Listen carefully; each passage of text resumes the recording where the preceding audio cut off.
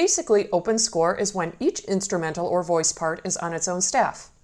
This term is usually used when referring to vocal music that's in multiple parts, like what you might see if you've ever sung in a choir. The sopranos have their own line, the altos have their own, and so on. While these are harder for a single person to read, especially when a pianist is trying to play all the lines at once, it's the clearest way for individuals to see their own parts when playing as part of a large group.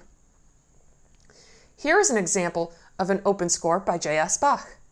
From top to bottom, the staves represent the soprano, alto, tenor, and bass voice parts. One unusual thing you might have noticed on the open score is that clef being used for the tenor part. What is that 8 under the treble clef? And why are tenors, generally a lower voice compared to altos and sopranos, singing with a treble clef? Well, in most music written for tenor, the engravers use a treble clef and then stick a little 8 under it to show that what you'll hear is one octave below the notes that are written.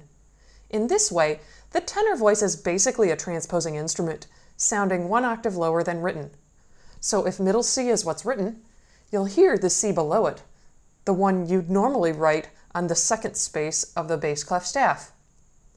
So when you write an open score, make sure you include the little 8 under the treble clef, or your poor tenors will think they have to sing very high. Ouch. And what is short score? In contrast to an open score, a short score is a reduction of a work for many instruments to just a few staves, so multiple parts are on one staff. For example, rather than composing directly into a fuller open score, many composers work out some type of short score while they are composing and later expand it to form the complete orchestration. An opera, for instance, may be written first in a short score, then in full score, then reduced to a vocal score for rehearsals.